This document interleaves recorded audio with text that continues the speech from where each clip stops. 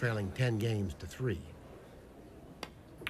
What do you, what has he done? Are you sure? Are you sure, Corey Deuel? But look, he's a no, no man's land, Jim. The four ball's down the other end of the table, and he has to get back up this end of the table for a position for the five. I don't see what he can do here. What about that, though? The three into the top right corner pocket, just when you thought it was safe to go back into the water. What's he going to do here, Jim? It's a very difficult shot. Whoa, what was that?